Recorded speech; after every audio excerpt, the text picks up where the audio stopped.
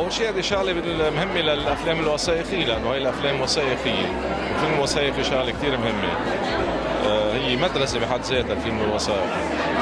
ثانيا آه، الأفلام يلي بتحكي عن عن الفن بشكل عام إن كان مثلا كان سينما إن كان رسم إلى آخره.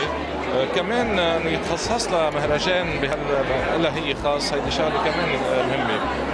مهم إنه يكونوا documentaries عم يتورجوا بلبنان ومش بس ببيروت لأنه هول أفلام صعب نلاقيهم بالسينمايات عادة. وهيدا الفن تبع السينما مش ال thriller action. أنا بلاقي خاصة بهيك وضع ما فيها لذة شيء ما واحد يكون بهيك أجواء ويشوف شو عم بيخلقوا باقي العالم.